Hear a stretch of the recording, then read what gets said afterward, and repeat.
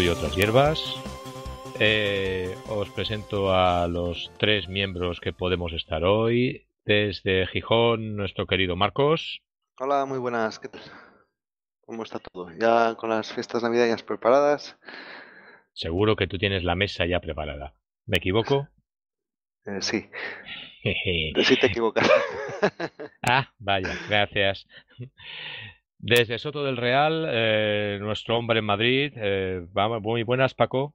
Hola, muy buenas, Javier, Marcos. Pues nada, aquí efectivamente ambiente casi navideño, niebla y tiempo ya tristón. Pero Paco, navideño ya es desde el 1 de diciembre o antes que ya ponen los árboles, ¿cómo es? Y todas las luces y todo esto.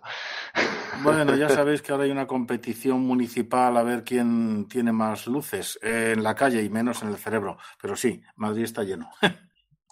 Eh, ya decía yo que lo de había algún problema con lo de las me faltaban neuronas estaban en, las luces de las calles ahora me encajan los patrones de las luces de, de navidades ahora me encajan son redes neuronales gracias no no me había dado cuenta Paco y eh, Javier Teruelo desde Santa Coloma de Gramanet. Eh, hoy nos falta Fernando por una serie de circunstancias. Mm, se nos incorporará el, siguiente programa en cuanto sea posible. Y bueno, pasamos con la efeméride del día. El 15 de diciembre de hace, de hace ya 24 años, el lejano 1995, en el siglo anterior, se lanzó Altavista. Altavista fue el motor de búsqueda de base de la red hasta la llegada de Google. Ya 24 años que tenemos un gran buscador. Y bueno, empezamos el programa. Tenemos dos temas interesantes, dos temas que pueden dar relativa guerra mm, y vamos a ver, esperemos que no nos mordamos demasiado. Mm, eh, ¿Has comido ya, Marcos? ¿Desayunaste?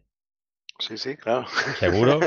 No, no, Eso es ineludible. Lo digo, lo digo, lo digo porque no me falte después ningún pedazo, que luego van cayendo las cosas.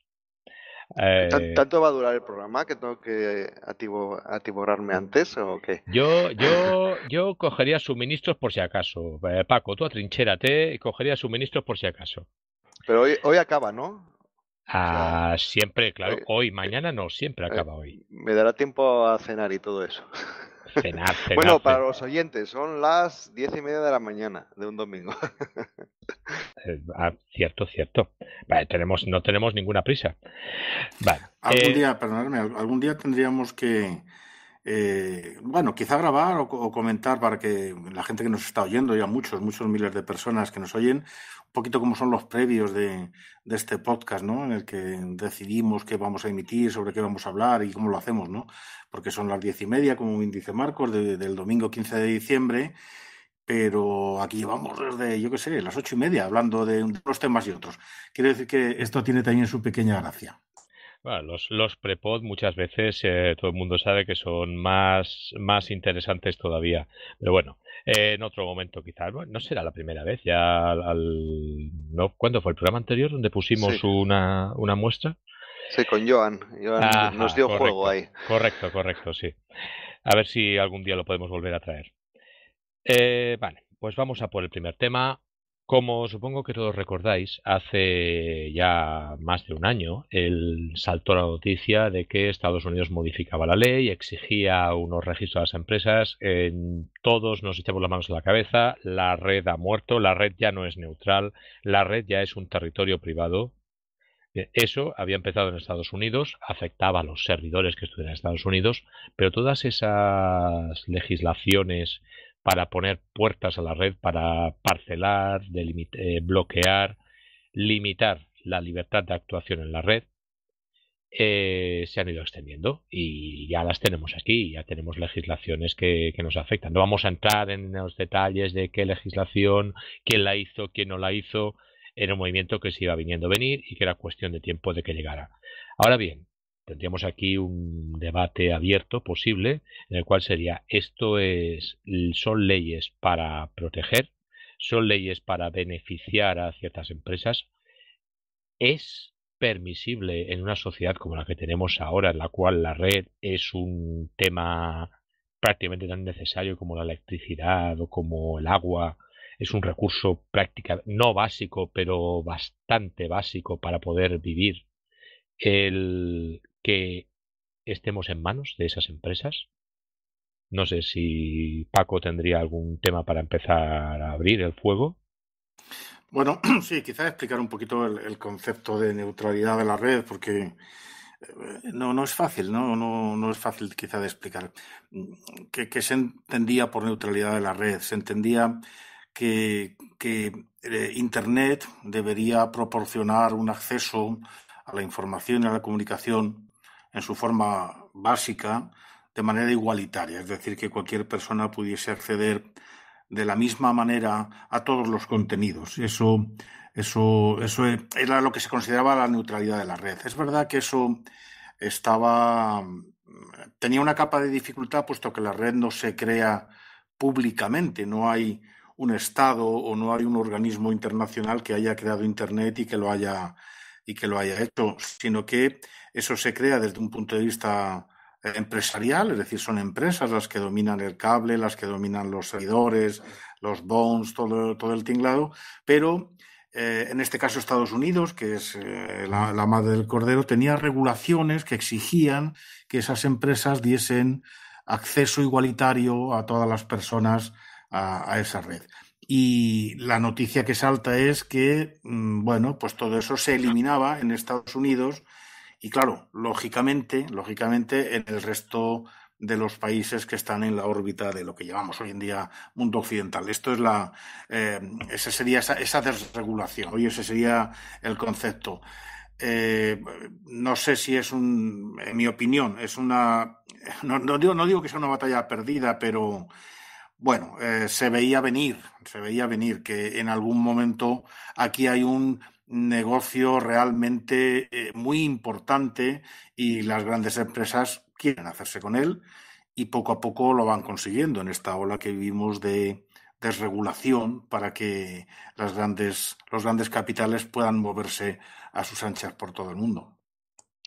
A ver, Paco, yo esa situación la, la sumo a un símil bastante relativamente sencillo y que en este país pues, es bastante aplicable si tú liberalizas eh, los ferrocarriles y liberalizas las vías, lo que has hecho es pagarle una públicamente a unas empresas toda una serie de infraestructuras que ellas no han tenido que montar y que se van a dedicar a, rentabilizarlas en función de sus eh, posiciones, privilegios y necesidades personales. Y los criterios de las empresas están muy claros, no nos engañemos. Es decir, hasta qué punto esa red de distribución, los servidores son de una empresa, evidentemente, eso está claro, no hay un servidor público que sirva para. Pero la red por la cual eso se mueve es lo que en teoría puede ser público o no, o puede ser privado. Para mí el punto clave de la discusión está ahí. Y eso, ya te digo, es que no solo es tema de red, es que encaja con muchos otros servicios que son fundamentales y con los cuales estos temas se están dando. Así que al final, eh, ¿por qué curiosamente, y ahí vamos a profundizar un poco más en filosofía, en nombre de esa libertad, lo que estás haciendo precisamente es eliminar la libertad? Eh, Marcos, ¿tienes algún comentario? Eh, sí, realmente es lo que comentaba Paco o lo que comentas tú ahora, que eso, siempre va a haber un dueño pues de la fibra óptica, ¿no? Te la va a meter pues Movistar o Vodafone o Orange, el que sea, va a ser el que tiene esa infraestructura. Pero lo que pasaba es que en Estados Unidos había unas normas que protegían que esos dueños de infraestructura pudieran eh, dominar completamente a su antojo, pues decir, pues ahora yo te regalo datos ilimitados siempre que uses esta, esta red social o, hacer cosas que no se consideren un Internet igualitario. Sí, si queréis, yo os pongo un ejemplo, porque has introducido ahí los trenes, por ejemplo, para que la gente entienda de alguna manera cuál es el resultado final de esa falta de, neutralidad. ¿no? Eh, ahora mismo, si uno contrata un, con su operador normal y corriente, contrata, pues, yo qué sé, tu fibra, 300, 300, lo que tú quieras, tu, tu, tu ancho de banda, etcétera, y tú decides pues yo qué sé, entrar en una página como, como Netflix y bajar y, ver películas, pues estupendo, tienes a una velocidad. Pero si tú decides, por ejemplo, utilizar BitTorrent, tienes la misma velocidad de uso, ¿no? Eh, ¿qué sería la, eso, eso sería una red neutral. Me da igual lo que tú quieras ver, al donde tú quieras acceder, tú vas a ir a la misma velocidad. De la misma manera que si tú quieres ir de Madrid a Barcelona, podrías ir a la misma velocidad que, quieres ir, si, que si quisieras ir de Madrid a Almendralejo. Vale, el, acabar con la neutralidad, ¿qué significaría? Que si tú quieres eh, ver Netflix, vas a ir a una velocidad, pero si tú vas a BitTorrent, irás más despacio. O puede que ni vayas, porque mi operador no quiere que veas BitTorrent. Es decir, si vas a Barcelona, vas a una velocidad, pero si vas al Mendralejo puede que vayas más despacio o que ni siquiera puedas ir. Esto sería la pérdida de la neutralidad. Con lo cual, al final, el, es, nos estamos poniendo lo mismo. Eh, seguimos dando vueltas al tema. En nombre de la libertad, del principio de libertad absoluta, estamos cayendo en manos de otra gente. Me has mencionado Movistar. Eh, precisamente Movistar para mí es un ejemplo de lo que no se ha de hacer que es eh, se, cuando eh, se entraron las leyes de competencia y hubo que pasar a, una empresa de telefonía que fuera privada y que estuviera en libre competencia con todos los operadores para evitar los monopolios, hasta ahí correcto. Muy bien, se liberalizó, se vendió todo, pasó a quien lo tuviera, pero ¿en qué condiciones? Con todo. Una cosa son los servidores, las centralitas, lo que fuere. Otra cosa diferente es toda la red completa. Es que de hecho lo que se creó fue un mercado esclavo. Es decir, las condiciones, aunque legalmente sean igualitarias, no son igualitarias.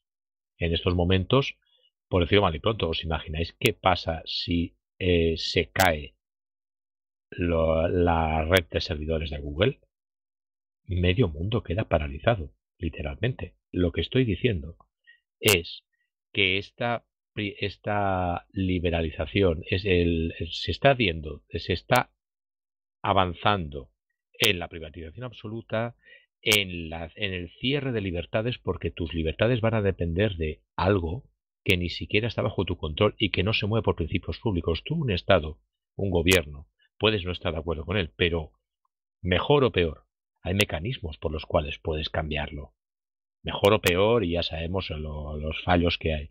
Pero una empresa se mueve por una psicología muy determinada. Estamos en un camino cada vez peor. Somos todos una simple fuente de recursos para una serie de empresas. No son un servicio. No van a hacer un servicio. El servicio es por algo. Es por algo. Y estamos, eh, vamos a estar cada vez más y más atrapados. Eh, Paco, dime.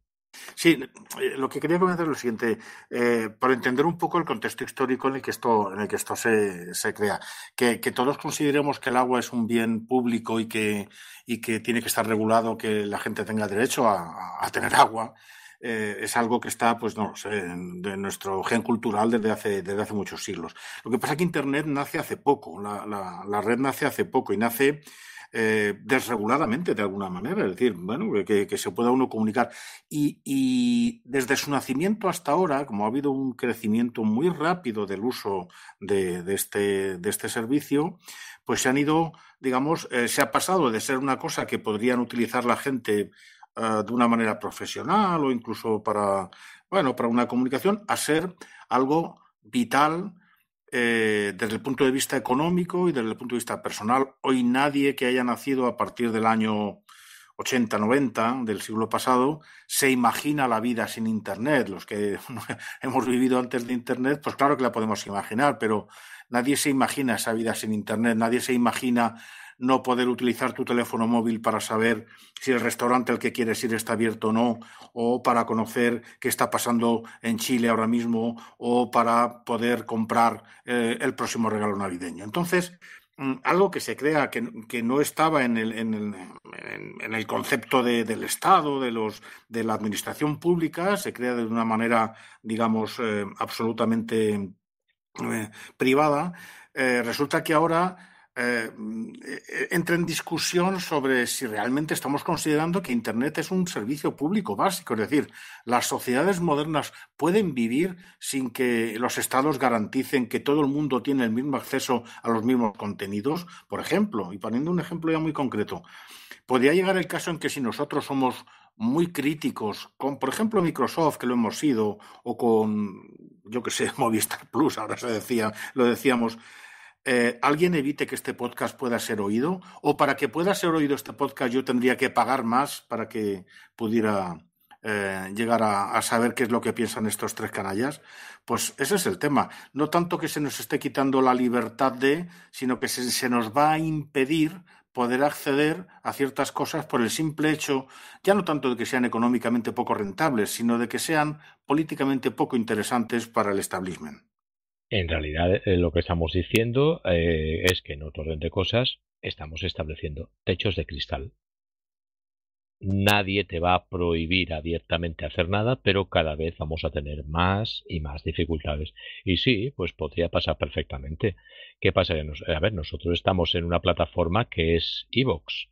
Eh, ¿Qué pasaría si Evox decidiera ahora, me lo invento, que todos los programas sobre Linux pues no le interesan o que o que en un momento dado podemos criticar las políticas que toma Ivo eh, que toma el portal por una historia determinada y ese podcast de repente no sale. Es su servicio te aguantas. A ver pero lo que está muy claro es que las empresas quieren controlar internet y los gobiernos también quieren saber controlarte, ¿no? Que de hecho algunos gobiernos o casi todos lo hacen, como la NSA o, aquí en España estoy seguro de que también. Yo creo que la clave, la clave la tiene Tim Berners-Lee, que es el inventor de la World Wide Web, y él parece que tiene una iniciativa nueva en la que quiere recrear una nueva Internet.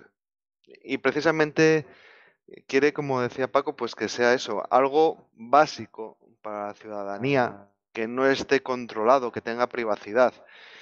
Yo creo que deberíamos, también he leído alguna vez de crear una web que sea P2P, en la que, por ejemplo, hoy en día, está, que por lo menos en mi operador de Pirate Bay está capado. Yo si visito la página, eh, me, me, reenvía ya al proxy para que pueda buscar otro, pues yo qué sé, con otro dominio en otro lado.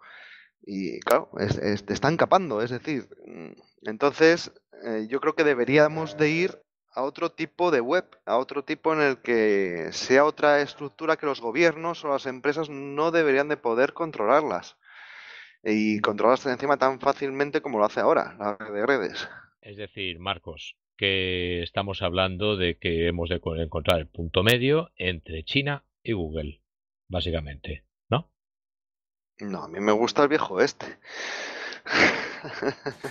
sí. Es que, ¿sabes lo que pasa? Que hemos vivido en el viejo este y, y molaba. Entonces, ahora que nos encorseten cada vez con cosas nuevas y cada vez más y cada vez más, dices tú, esto cada vez se parece menos al viejo este y parece más a una cárcel, ¿no? Me gusta mucho el símil, esto aquí, a ver si al montar metemos el Telegraph Road de Dire Straits, que es la, la, canción aquella de un cuarto de hora dedicada a la extensión del telégrafo, porque es el fondo perfecto. Para, perfecto, me gusta, me gusta el argumento. Sí, yo, yo no soy muy amigo de, de, las conspiraciones, ¿no? de pensar que todo está pensado por una mente brillante que poco a poco nos lleva. Pero bueno, aquí voy a hacer un, voy a hacer un pequeño saltito. Eh, yo no sé si os acordáis de los famosos decodificadores de Canal Plus, ¿verdad? Y aquel, aquellos años en los que eh, la gente era capaz de eh, diseñar tarjetas que podían decodificar y entonces lo veías gratuitamente, etcétera. Bueno, había, un mundo ahí y en un momento dado, pues Canal Plus acabó con todo aquello y, empezó su, su, negocio de verdad. Bueno, alguien dijo, eh, la misma versión de Microsoft, ¿no? Regalo mi sistema operativo, lo dejo copiar, lo dejo que todo el mundo lo tenga y cuando todo el mundo está enganchado a utilizarlo, ahora ya sí, ahora me pongo a cobrar y me pongo a hacer. A mí me parece, a mí me parece que algo de esto ha pasado. Efectivamente, alguien nos dejó entrar en Disneylandia eh, en, el, antiguo este o como lo queramos llamar, y una vez que ya no podemos vivir sin ir al salón todas las tardes, alguien dice, aquí para entrar hay que pagar. Esto no era gratis, chavales, esto era mío. Y, por ahí yo creo que va el tema. Pero dejadme que se hable de una cosita que, yo creo que es interesante. Eh, dice, vamos a perder la neutralidad de la red, que, que, hemos explicado. Eso significa que no podremos ir a todos los sitios o que para ir a ciertos sitios deberemos pagar más o debemos hacer cosas distintas. Sin embargo, en el otro sentido, es decir, en el sentido de la vigilancia que supone la red para cada uno de nosotros, eso sí que va a estar abierto a pleno pulmón. Alguien ha mencionado aquí la NSA y seguramente nuestros servicios de información. ¿no? Eh, la red eh, sí que permite llegar a nosotros, a nuestras costumbres, meter nuestros datos en esos big data que utiliza Google con tanto acierto, pero no nos va a permitir llegar a los sitios, pero sí va a guardar que queríamos llegar alguien se iba a meter en una base de datos que Francisco Molinero quería ir al Pedrete el día 15 de diciembre a las 17.57. Otra cosa es que yo no le haya dejado ir o que le haya ido o que le haya dejado ir más, más despacito. Eh, esto es importante de ver. O sea, no hay reciprocidad en cuanto a la capacidad que yo tengo de, de, viajar por esa red que ya, que ya no será neutral, pero por lo menos debería poderlo hacer de una forma eh, un poquito, digamos, eh, con cierta libertad, ¿no? Eso, eso no va a ocurrir. Y luego no olvidemos algo que es verdaderamente importante. Las infraestructuras que manejan Internet, hasta donde yo sé, creo no equivocarme en esta afirmación, ninguna pertenece a ningún gobierno. Y este dato es muy relevante. Sí, eh, hay una cosa que parece que esto nos coge muy pues de Estados Unidos, ¿no? Que dicen, bueno, pues fue Estados Unidos el que aprobó quitar la neutralidad de la red. Y aunque Javier decía que los nombres son irrelevantes, yo creo que a veces es importante decir, este ha sido el culpable, que quede para la eternidad, ¿no? Ajit Pai fue el presidente de Comisión Federal de Comunicaciones de los Estados Unidos. Pero claro, nos suena muy lejos Estados Unidos. Sin embargo, yo estoy mirando ahora una web, Vodafone Pass, en la que te dice datos ilimitados para tus aplicaciones de música, vídeos, redes sociales y mapas. Joder, genial. ¿No? No voy a pagar nada por ninguna aplicación. Y entonces bajo y digo Social Pass. Pues para Facebook, para Instagram, para Twitter, Pinterest, Snapchat y tal. Y Telegram. ¿Dónde está Telegram? ¿Y, Open, ¿Y OpenStreet? Y OpenStreetMaps, exacto. ¿Dónde está OpenStreetMaps? Tendría otra que es Maps, más Pass. A ver, déjame darle más 4, pero bueno, tampoco esta página. Vale, a ver, mira. Pues no está OpenStreetMaps, está Google Maps, está Here, está Waze, que es también Google, TomTom, Advisor, pero OpenStreetMaps no. Es decir, la gente cuando use esta tarifa lo que va a hacer es ir a Google Maps, sí o sí, aunque ya la mayoría vayan igualmente, pero bueno. Entonces lo que comenta Paco, claro, ¿quién va a usar OpenStreetMaps gastando datos? Imaginemos que todas estas sean gratis y el resto que uses pagues un mínimo. Pues obviamente vas a ir a las gratis sí o sí, ¿no? Lo que también era simpático es que Vodafone, o por lo menos el community manager de Vodafone no se daba cuenta porque en Twitter anunciaban este Vodafone Pass, como diciendo, qué guay somos, somos geniales, que os damos un pase gratis a todas las aplicaciones que uséis. Y le decía, le contestaba un chico, eh, intenté buscar el tweet pero no lo encontré. Eh, decía, viva la, os acabáis de cargar la neutralidad en la red. Y, le contestaba Vodafone que, que no, que él podía usar otras cosas. O sea, no se daban cuenta que favorecer unas aplicaciones o unas webs o un servicio sobre otro, realmente lo que te estás cargando es esa neutralidad. Que el mejor ejemplo es el que nos ha dado Paco con, con Netflix y, o, con, o, con, o con OpenStreetMaps. Es decir, si yo al final me dejan gratis estas aplicaciones, pero en cuanto me salga de ellas pago un mínimo, que no es el caso, ¿eh? creo que te dan un mínimo gratis también, pero bueno, pues obviamente voy a tirar a las que son gratis. Vamos a poner, por ejemplo, pues WhatsApp contra Telegram. Es decir, todo el mundo va a seguir usando WhatsApp porque va a ser más gratis. ¿eh? Al final es donde duele, ¿no? En el bolsillo. Sí, eh, hay una cosa que, tenemos que tener en cuenta. Mirad, nos van a cocer, como decía, ¿no? Una rana si tú la metes en un, en un, en potro de agua caliente, la rana salta, pero si tú la metes en agua a buena temperatura y la vas calentando despacito, te la terminas comiendo fría, eh, asada. Yo creo que esto es lo que están haciendo. Nos están calentando poquito a poco. Ya veis que el tema no pinta bien. De todas formas, eh, creo que todos sabemos que había alternativas. Hubo un proyecto ya hace años que es un proyecto que sigue, lo que pasa es que queda muy bajo mano, muy a pequeña escala, muy porque no da velocidad, porque es todo muy dependiente de, colaboración individual pura y dura, que sería casi casi un recuerdo de aquella primerísima Internet, vamos, de, de, ese mundo del oeste antes de empezar, que decía Marcos, que sería ese proyecto Wi-Fi Net con, GU, con GU, eh, que era eh, que tú tenías un ancho de banda y utilizabas lo tuyo y dejabas una parte abierta para que otra gente se pudiera conectar de router a router. Al fin y al cabo llegamos siempre a un cuello de botella. En algún momento has de pasar por esos grandes operadores. Con lo cual, el problema de fondo aquí es el mismo. Esta estructura, esta infraestructura actualmente ha de ser algo público, algo del común, o ha de seguir siendo un terreno en el cual las privadas te nos van dando el caramelo, nos van llevando donde quieran y después pues tragas con lo que tengas que tragar. Sí, el problema yo creo que principalmente la mayoría no vemos este servicio como básico. De hecho, yo creo que no es tan básico como el agua o la luz, por ejemplo, obviamente. De hecho, hemos vivido tal vez la mayor parte de nuestra vida sin internet y no pasó nada. Obviamente, obviamente no es un servicio básico, pero me, eh, repito, métete ahora mismo en cualquier ciudad y vamos a hacer una cultura urbana por todas partes eh, sin muchos de los servicios de la red. Sí, lo que pasa que era con lo que quería enlazar, eh, no es básico, pero al final a la gente no le importa.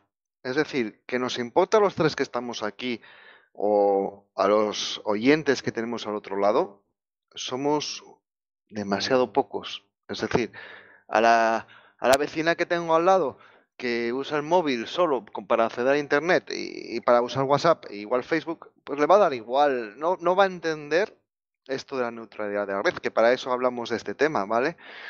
Para darlo un poco a conocer, pero el problema es que esto va a quedar en un nicho de, nosotros mismos en los que no va a trascender a la ciudadanía. Es decir, nadie va a protestar, bueno, puede, protestar un mínimo de gente, pero no va a tener relevancia esa protesta. Con lo cual, los gobiernos y las compañías van a seguir haciendo lo que les dé la gana. Yo creo que lo único que nos puede salvar es eso, pues que venga un gurú, pues yo qué sé, incluso este Elon Musk, que diga, pues mira, yo voy a poner el internet con satélites por todo el planeta. Y bueno, pues pagarás la cuota a él.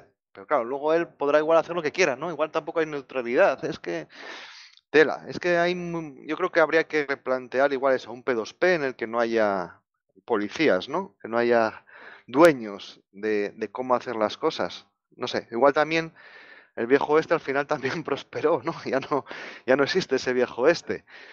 Igual parecemos cavernícolas aquí soñando con, con, los, con el viejo salón, ¿no, Paco? Pero no lo sé. A ver, eh, yo creo que no, yo, creo que no, no parecemos cavernícolas. Yo no creo que cualquier tiempo pasado fue mejor, sino que hay tiempos, hay, hay distopías del futuro que son malas. Eh, yo creo en una, yo creo que, que, Internet sí debería ser un servicio público porque, porque ayuda a igualar las posibilidades que tienen las personas. ¿eh? da igual en dónde hayas nacido, dónde has vivido, cuál sea tu, tu, nivel social, si tienes el acceso a toda la información, tienes algunas posibilidades. Si esa información ya no es neutral y no tienes un acceso igualitario, solo los que tienen muchas posibilidades económicas pueden tener buenos accesos. Por lo tanto, yo sí creo que no se trata de regresar al pasado, sino de construir un futuro que verdaderamente sea potente e igualitario para todo el mundo. Y ese es el, Estoy de acuerdo contigo, Marcos. Es, el deseo de muy poquitos, porque la gran mayoría, la gran mayoría, eh, viven de una forma muy acrítica todos estos problemas, digamos, de la, de la tecnología, ¿no? Como si la tecnología no tuviera que ver con las vidas. Y es al contrario. Ahora la vida casi siempre depende de alguna tecnología siguiendo esta línea, eh, pensad, por ejemplo, hasta qué punto te pueden decir, bueno, es que en el fondo eso es un lujo, es un servicio privado. A ver, en este país tenemos un grave problema de despoblación y de, a nivel de los pueblos. Y entonces eh, lo que se está buscando siempre de forma sistemática eh, es la expansión de la tanto de la fibra óptica como de los eh, como de las, las wifi abiertas, las wifi públicas para los pueblos. Eso se está haciendo, se están poniendo los pueblines, se están poniendo los, routers abiertos, eh, incluso no tienen ni que tener ayuntamiento. A veces son pueblos que, que dependen de ayuntamientos de ayuntamientos mayores y eso se está haciendo. ¿Por qué? Porque se tiene muy claro que actualmente un lugar donde no puedas tener un acceso a esa información eh, no acaba de, no puede acabar de despegar porque económicamente no tiene acceso a un montón de, a un montón de servicios. Hay una, un sistema que es ese y luego eh, que sería el que derivaría de los ayuntamientos, pero después hay otro que lo hacen los propios pueblos, en los cuales se hace con unos accesos punto a punto, de pueblo a pueblo, que con, eh, no, con, no con wifi, sino con, no recuerdo el mismo cómo se llama el servicio de, el servicio de conexión a larga distancia con antenas punto a punto, ah, de forma que eh, se busca un nodo que tenga una buena conectividad y a partir de ese nodo se van conectando diversos pueblos a base de eh, repetidores y se crea una red paralela que no, pero como siempre acabamos viendo a esta red oficial. Si no fuera tan importante, si no se estuviera transformando en algo, eh, en algo muy, muy, muy básico para la, para la vida en general, no hubiera la preocupación porque ese despliegue requiere una inversión, una inversión importante y nadie se lo plantearía. Eh, ojo, que yo antes comentaba también sobre algo así similar, ¿no? De porque realmente yo no entiendo, eh, al final eso, eso que acabas de comentar va de un nodo a otro nodo, pero al final siempre está en una fibra óptica o va por satélite, ¿cómo va eso? ¿Sabes? Al final acaba generalmente en un, en un nodo de comunicaciones. Se, te lo digo porque ese proyecto además lo habíamos mirado hace muchos años para hacer una cosa parecida en las redes de los institutos, para aprovechar el ancho de banda excedente. Eso era cuando había ancho de banda excedente. Sí, porque también, bueno, ahora estamos aquí en el 2019, casi 2020, pero bueno, ya hemos leído cosas como lo de Elon Musk, que quería poner satélites para Internet. También hemos leído que Facebook quería hacer lo mismo, o Google, ¿no? Google quería poner globos aerostáticos que diera Internet, creo, también por África puede ser, o algo así, recuerdo. Entonces, bueno, hay empresas que quieren plantear, yo creo que nuevas formas de acceder a Internet. Ojo, ojo, que, que tenemos a veces una mirada muy occidental. Ahí está China, ¿eh? Ahí está China que es un caso muy claro de no neutralidad de la red. Hay, hay, sitios a los que no se puede acceder. Hay muchos países en, ahora mismo en el mundo que no permiten que sus ciudadanos accedan a depende qué sitios. ¿vale? Y, es un, y es un gigante y tiene capacidad para, para, para mover sus propios servicios, sus propias redes, etcétera. Eh, yo creo que, bueno, hay muchas, digamos, batallas por, por, la libertad y porque la gente tenga posibilidades de desarrollo. Esta, la tecnológica, que por desgracia, como decía Marco, no, no suscita mucho, mucha, mucha, mucha interés, es una, es, es, una batalla importantísima. De verdad nos jugamos que en el futuro eh, haya grandes masas de población en muchas partes del mundo que solo puedan acceder a lo que se quiere que accedan. Y eso es grave. ¿eh? Sí, pero muy buen punto ahí, Paco. Aunque bueno, obviamente es muchísimo, muchísimo peor un proxy a nivel de un país en el que te capan, ¿no? Que te capan eh, leer nuevas mentalidades que, no tienes en tu país. Claro, tienen miedo a esa revolución o lo que sea. Pero sí, bueno, nosotros no estamos hablando, claro, de, ese encosetamiento de decir tú puedes visitar esto y esto. Y, y fuera de ahí ya no puedes visitar nada.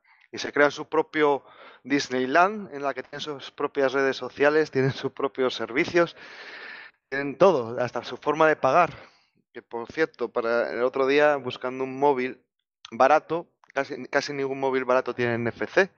Pues no tiene NFC porque en China, que casi todos los móviles baratos provienen de China, pues usan el web app este web chat y, lo que pagan es con un código QR, con lo cual casi nadie necesita un NFC y por eso los NFCs no vienen preinstalados en móviles baratos. Eso, eso se llama Alipay y lo tiene la empresa Alibaba, que todos conocemos, un magnate del tinglado. Y sí, son cientos de millones de personas en Asia y bastantes van a empezar a ser en Europa que tengan el servicio de pago con Alipay. Con tu QR puedes pagar fácilmente.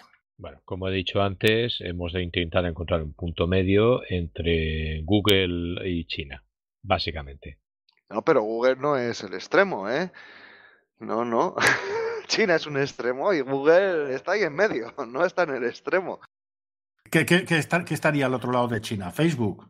Eh, no, al otro lado, a ver, al otro lado el viejo este del Internet de hace 20 años para mí, ¿no? Bueno, es un planteamiento. Vale, eh... Napster, ¿no? Napster, eh, eh, sí, claro, y si nos vamos ahí a Terra, ¿no? bueno, ya hemos citado, hoy hemos citado Altavista, ya no vendrá de ahí. Somos muy mayores. Sí. Bueno, pues eh, si os parece bien, nos seguimos por este tema. Vamos a abrir el segundo tema, que este ya, ya le hemos dado bastante tralla. No hemos llegado a ninguna conclusión, pero en el fondo creo que es que no hay ninguna conclusión a la que llegar. Estamos haciendo un, un aviso a navegantes de decir, señores, que vemos un futuro, si esto sigue así, vemos un futuro muy malo, en el cual ya ni siquiera vamos a tener la posibilidad de elegir qué es lo que vemos ni qué es lo que leemos. Y nos lo habrán quitado en nombre precisamente de esa capacidad de escoger. Sí, Javi, pero sí, es eso, que al final nosotros con este podcast simplemente damos nuestro punto de vista, ¿eh? que podrá haber mejores, peores, distintos, pero yo creo que sí, que igual despertar un poco la curiosidad, eh, dar relevancia igual a algo que nos, se nos pasa por alto en el día a día, decir, ostras, pues mira, esto sí es interesante, ¿no? Dar simplemente conocimiento, criticidad, ¿no? Luego que cada cual, oye, que diga, a mí me da igual, yo quiero mi WhatsApp gratis en Vodafone Pass.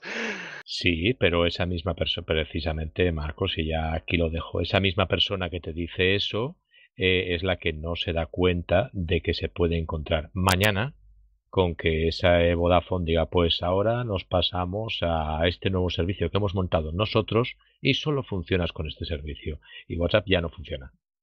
Y entonces eh, viene el llanto y el crujir de dientes. Sí, exacto. Pero bueno, yo creo que nuestros oyentes precisamente eh, creo que no estén en ese lado, sino en el nuestro. Creo que todos los que nos escuchan eh, saben bastante de estos temas, más que nosotros, seguro.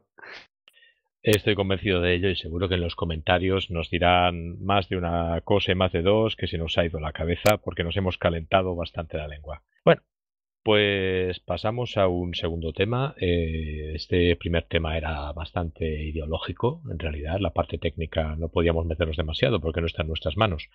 Pero el segundo tema sí que es un poco más técnico. Eh, bienvenidos a los ingenieros. Eh, hablamos una vez más de la obsolescencia programada. Ah, recordáis que más de una vez hemos hablado en este, en este programa de las pizarras digitales como uno de los grandes temas, que uno de los grandes gadgets que se han metido en el mundo de la enseñanza desde hace años, que han tenido una extensión brutal en los últimos años con la informatización de, de la escuela. Desde Ubuntu 18.04 eh, tenemos un problema grave tenemos un problema grave que consiste en que las pizarras anteriores que funcionaban con Linux sin ningún problema, no estamos hablando de máquinas que hayamos tenido que hacer ingeniería inversa o que directamente los controladores no funcionaran. O sea, son máquinas que están en perfecto estado de funcionamiento, no tienen ningún problema físico, ningún problema electrónico, todo está bien, pero hemos tenido un problema que lo hemos generado nosotros. Y es que la manera de disponer los módulos en el kernel se ha cambiado y el orden en el cual se montan los servicios se ha cambiado y eh, muchas de ellas actualmente no funcionan. Todo lo que es anterior a cierto año no funciona por el tema de los USB, del orden en el que se monta el servicio USB, básicamente, y los módulos del kernel. Volvemos a estar con la obsolescencia programada. No estamos hablando de cambiar un móvil que te buscas uno metido a la piscina de y algo que, que para mí es impensable de 300 euros Estamos hablando de aparatos muy, muy caros. Estamos hablando de un equipamiento muy potente a nivel económico y que prácticamente se está exigiendo cambios. Eh, adelante, Paco. Sí, yo quería un poco a lo mejor matizar. Este es un territorio en el que me muevo no como un pez en el agua, sino como un pez fuera del agua. Por lo tanto, quizá diga alguna, alguna gilipollez y pido disculpas eh, de antemano. Pero, va, por, va por las mías, no te preocupes. sí, la, idea es la siguiente. Es decir, una, una cosa es que, que, una empresa decida construir, eh, fabricar, inventar eh, un aparato, el que sea, eh, una impresora, que era el caso más, más terrible que había con las Epson famosas, que, que va a imprimir 600.000 páginas. Y las 600.000 una ya no la va a imprimir porque yo decido que esa impresora muera en ese momento. Para mí eso era la, obsolescencia programada. Yo programo la vida máxima de utilización de este aparato. Y otra cosa es, creo yo, el tema de las pizarras digitales que es una especie de tiro en el pie que nos damos nosotros mismos, es decir, nosotros hablando de Linux y de Ubuntu, ¿no?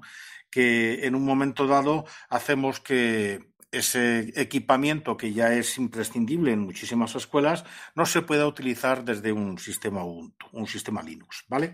Yo, creo que son, son cosas parecidas, pero no son exactamente iguales. Y eso tiene que ver, me temo, tiene que ver mucho con el porcentaje de usuarios que están eh, perjudicados por ese tipo de, de, problemas. Es decir, si eh, mi instituto o mi escuela utiliza Microsoft Windows, seguramente no tiene ningún problema. Y, sin embargo, si utiliza un sistema Linux o un sistema Ubuntu, muy posiblemente sí lo tenga. No hablamos tanto de obsolescencia programada, sino del poco cariño, quizá, que en algunos casos tenemos eh, en Ubuntu por, por los pequeños sectores de la población que están intentando llevar nuestro sistema operativo hasta, hasta el final, en este caso hasta la escuela, ¿no? Ah, hombre, es que... hombre, Javi, eh, yo lo que opino es, eh, te quería preguntar, ¿has, ¿has, creado un bug? ¿Un bug? A más de uno y más de dos, y me he estado ¿Sí? peleando durante dos años con la casa, imagínate. Vale, vale. Es que a veces lo que, a veces se oye muchas quejas de cosas es que esto no hace esto. Entonces, vale, pero lo has reportado, has ido al desarrollador que hace eso para que te tenga en cuenta tu opinión, si es posible eh, solucionarla, porque bueno, eh, es lo que dice Paco, ¿no? Seguro que con Windows funciona perfecto. Entonces, claro, nosotros somos cabezones y queremos que todo funcione con sistemas operativos libres. Lo que pasa es que ahora el tiro en el pie es nuestro, es de nosotros mismos. Si hemos cambiado la forma de levantar los módulos y hace que la pizarra se quede cao, es culpa nuestra, ¿no? ¿No es fácil volver atrás o, o está SystemD por ahí metido? ah, sí, en parte es SystemD. Eh, pero bueno, básicamente, a ver, primero, eso lo he dicho ya yo, que el fallo fue nuestro. Cambiamos ese aspecto y no se tocó. El... Y sí, se han reportado los bugs y no solo se han reportado los bugs, sino que se ha hecho eh, ingeniería inversa, se ha buscado mmm, qué es lo que qué es lo que hay y dónde estaba el fallo y cuál estaba el fallo.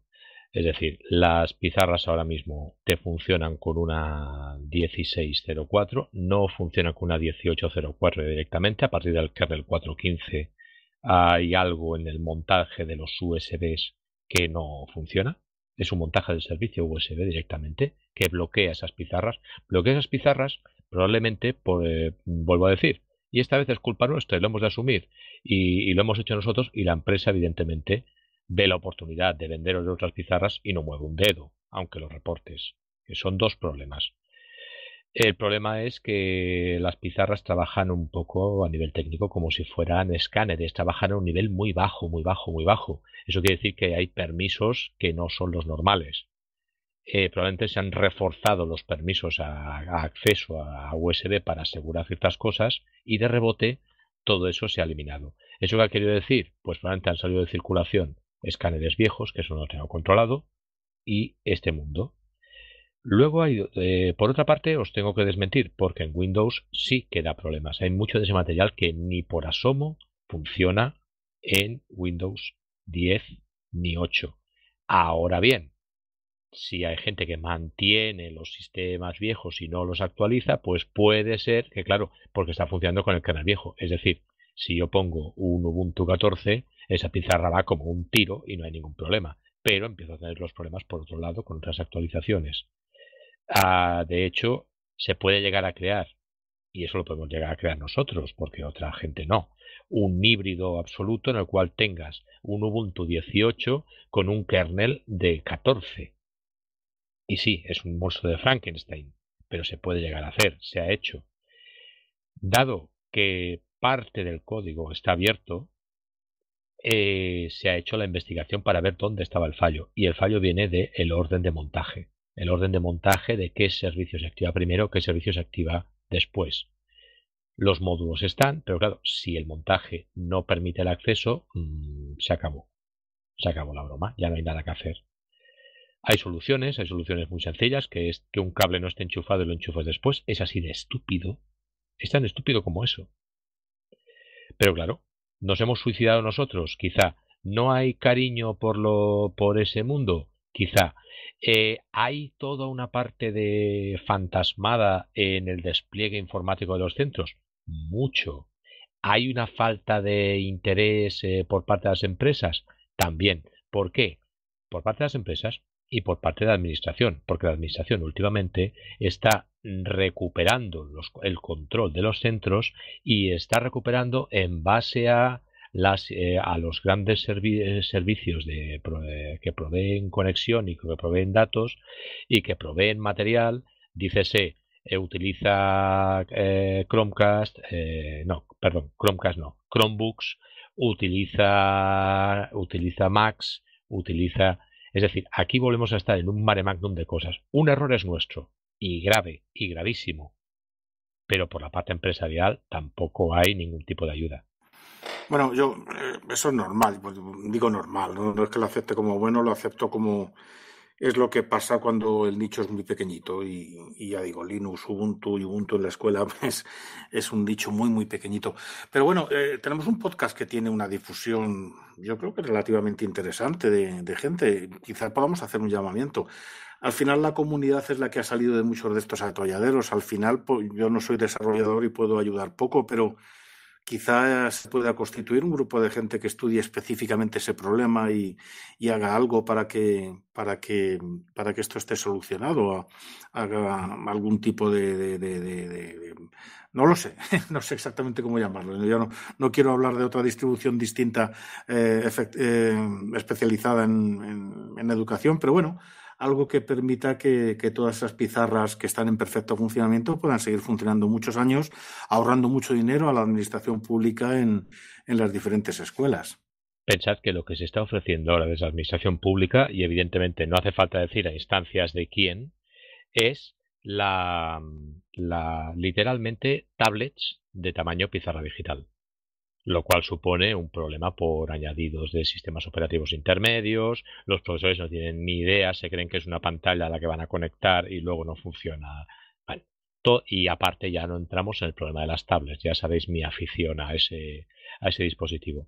Por otro lado, os puedo decir una cosa buena que ha salido de eso, que es que eh, eh, el tiempo que se le ha dedicado ha habido un grupo de gente muy reducido, pero no deja de ser una comunidad, una comunidad de gente que estábamos eh, detrás de, ese mundo escolar, unos alumnos de prácticas que han estado pegándose con el sistema a nivel de ver dónde se monta este servicio, dónde se monta el otro, han hecho un trabajo de investigación que a veces no se hace en otras partes, porque hay un manual de un manual de, de servicio en el cual vas a él y tiras por el camino en medio. Han hecho ingeniería inversa. De todo lo malo se puede sacar algo bueno siempre. Sí, montar una comunidad a la práctica ya se ha hecho, porque se ha hecho en general en profesores que trabajábamos con una marca determinada de pizarras, Promician, para ser precisos. ¿Y por qué se ha dejado? Pues porque la respuesta administrativa ha sido, en vez de ofrecer ayuda, decir, ¿encontráis algo? ¿Encontráis algo? ¿Encontráis algo? ¿Ya habéis encontrado algo? ¿Ya se puede? ¿Ya se puede? ¿Ya se puede? Y eso acaba cansando acaba cansando y más cuando el apoyo de la, de la empresa ha consistido simplemente es, ¿verdad que los modelos nuevos funcionan? Sí, pero los otros, los modelos nuevos funcionan. Ya está. No hay más problema. Y Javi, te quería preguntar, como profesor que eres, y visto que ya tienes este tema un poco más avanzado, eh, para algún otro profesor que nos escuche en este país o en otro, eh, que igual tenga otras pizarras tal, ¿tenéis algún, no sé, algún repositorio, algún GitHub, alguna página en la que esté la información de cómo parchear esto y hacer que funcione? Pues la información está directamente en la página de Promician, en Promician.org, en los foros de los foros de consulta. Eh, porque directamente se pasó la información, se dijo dónde, dónde estaban los fallos y cuáles eran los fallos. A nivel de código no se ha tocado código porque se llegó a plantear, lo que pasa que después el proyecto se dejó un poco porque teníamos una solución más sencilla, pero ha sido culpa nuestra también, tendríamos que haberlo hecho, de eh, meternos en el D y reordenar el montaje. Claro, tampoco sabemos qué consecuencias puede tener ese, ese reordenamiento del montaje. Variar el orden y decir, no, no, que esto se active en este momento y no en el otro para que no, para que no se interfieran. Evidentemente, eso ahí igual eso tiene efectos secundarios. Para eso hace falta una máquina de pruebas, hace falta una serie de historias. Eh, ya después en, el, en la descripción del programa ya colgaremos el enlace de la discusión sobre sobre, sobre este tema con Promician para que se pueda consultar. Mm, una tontería que, bueno, igual seguramente hayáis probado. ¿Habéis probado The One, por ejemplo? Que es una Debian sin systemd. Sí, y tiraba. y tiraba. Entonces quitamos systemd de todos los sitios y, libres ya de systemd. con todas las pizarras funcionando. No me lo digas dos veces. Bueno, hay una charla ahora en Debian, creo, para sopesar esto de systemd, si qué hacer con ello. Y bueno, la verdad es que lo metía bajo tierra ya. Ahora que habéis sacado Debian y para un futuro programa, oye, se oye algo ahí como de la divergencia entre Ubuntu y Debian, ¿no? Ah, pues no me enteré de nada. A ver, cuenta, cuenta. No, simplemente un rumor, ¿no? Algunas de las cosas y las decisiones que está tomando Ubuntu parecen querer separarle del camino Debian.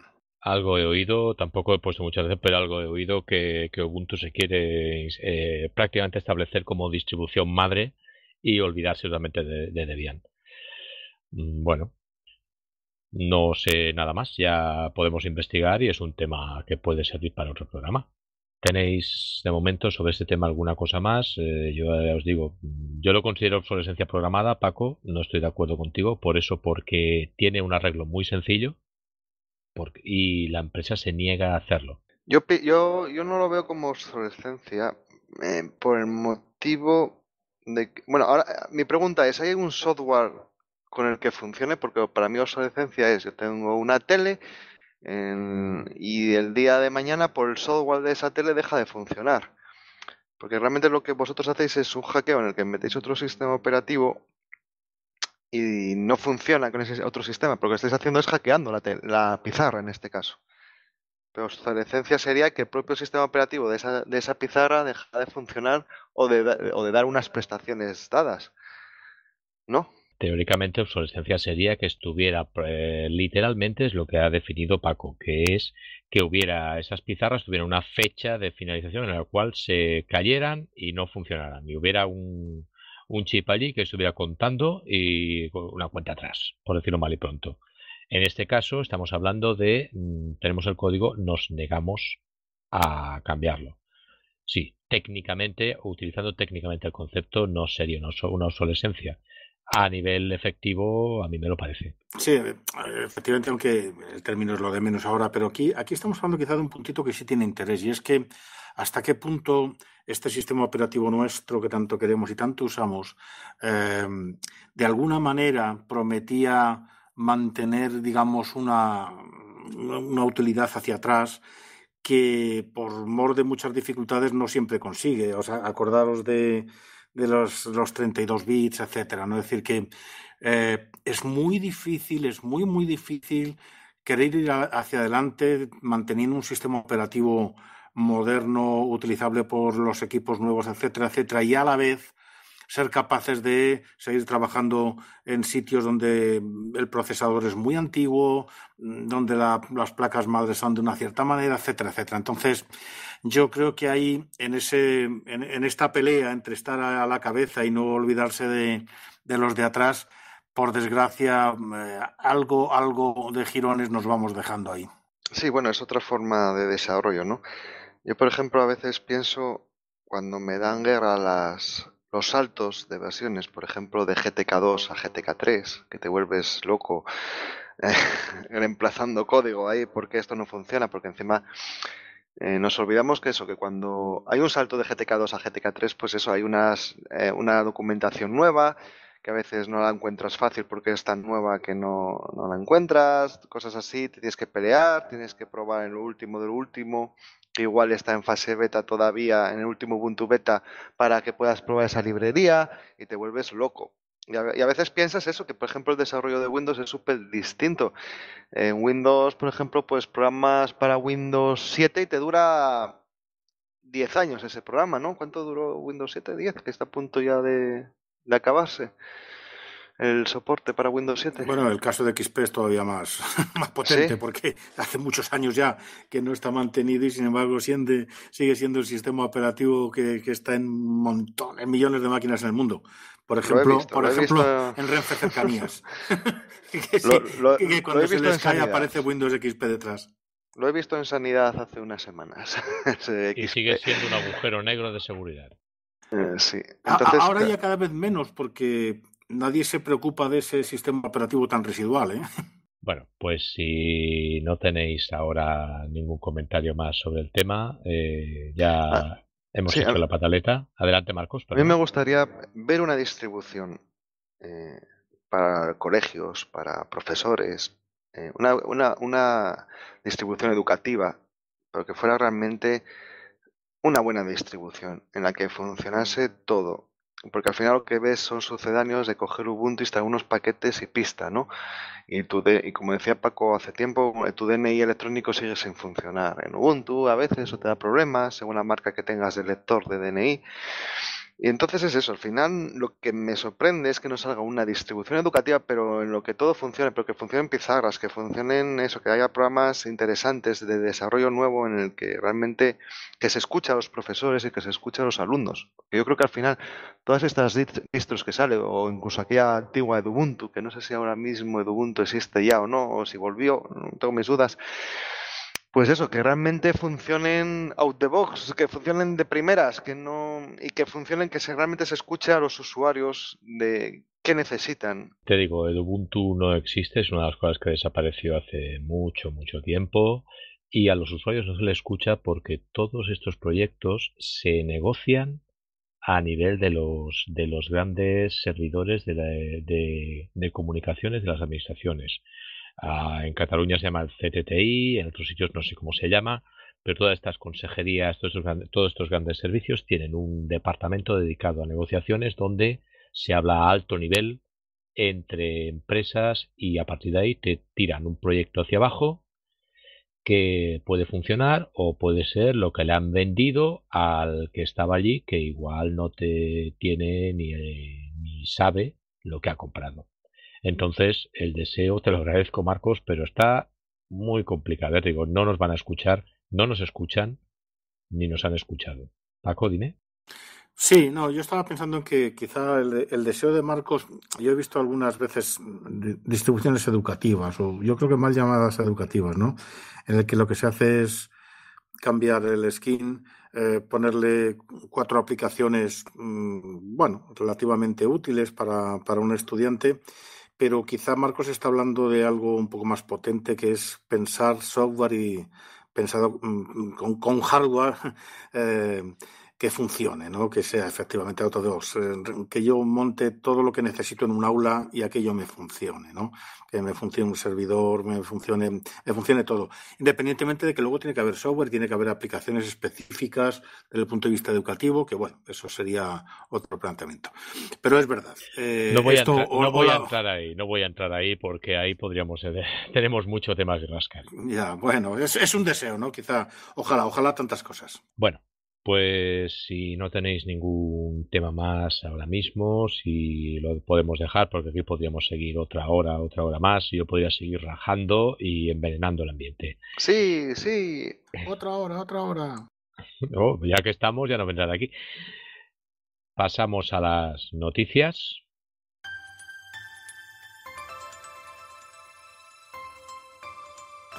¿Sabéis qué? Zorin 15.1, que está basado en Ubuntu 18.04 LTS, incrementa sus descargas con los fugados de quién? De Windows 7. Mozilla muestra pérdidas por primera vez en su historia, cosa que parece relacionado con el aumento de presupuesto en la división de desarrollo para independizarse de Mr. Google. Ubuntu pide colaboración con encuestas para mejorar la nueva LTS 2004 a toda la comunidad. Eh, tenéis el enlace en bit.li barra 2 SU U mayúscula M0 E mayúscula.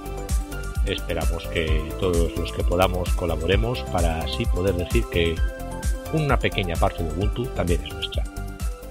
Eh, importante, ahora el director de Ubuntu Desktop es Martin Wimpress, cosa que me gusta mucho porque siempre escucha a todo el mundo. Yo creo que, que esta encuesta posiblemente influya en algo si la rellenamos. De hecho, no recuerdo que se convocara esta encuesta antes, o sea que igual la presencia de Martin Wimpress ya está marcando algo. A ver si sale algo bueno. Creo que hubo alguna otra, sí. Sí, sí, hace, Alguna hace, otra hace dos o tres años sí que hubo, hubo una, una encuesta por ahí de- del tema y, y, y luego hubo muchas críticas por el poco caso que se le había hecho. Pero bueno, esperemos que esto cambie. Bueno, pues hasta aquí llegamos hoy. Como veis, nos hemos metido en el barro hasta las orejas con temas relativamente complejos, con temas complicados que podían generar bastante discusión. Eh, mis compañeros han dedicado a llevarme la contraria, como tienen por costumbre, y yo a ellos, ya no viene de ahí. Y nos despedimos hasta el siguiente programa, que ya será el año que viene, lo más pronto posible, y en el cual esperamos estar los cuatro de nuevo. Eh, hasta luego, Marcos. Bueno, hasta luego, muy felices fiestas a todos, a todos los oyentes, a vosotros por supuesto, y que tengáis muy buen, buen año nuevo, a ver, en el 2020. No sé cuándo volveremos, yo supongo que después de las facturas que pillemos en, en fin de año y en Navidad, así que, o cuando os haga alguna noticia así controvertida. Así que bueno, que tengáis muy buenas, muy buena entrada de año y muy felices fiestas. A mí me da que volveremos a mediados de enero, no sé por qué, pero bueno, ya, ya veremos. Eh, Paco, mm, encantado de haber podido estar contigo otra vez. No, el gusto es mío, siempre es un placer y siempre lo digo. Este, este rato que pasamos preparando el podcast y luego hablando en él realmente es, es estupendo. Os recuerdo un par de cositas. Eh, que nos deis el like, ya sabéis que de esto viven los podcasts, que se difunda nuestro podcast y algo que a mí me parece muy, muy, muy interesante y es, por favor, ¿de qué queréis que hablemos? ¿Qué temas queréis que toquemos? Cualquier tema es bueno para debatir y para, y para discutir. Nosotros pensamos en muchas cosas, pero necesitamos que nos digáis eh, de qué os interesaría oírnos hablar. De fútbol. Pues después, después de, este, de este penalti que nos acaba de colar por la escuadra Marcos, ah, nos despedimos hasta el siguiente programa y muy buenos días a todos. Hasta luego. Adiós.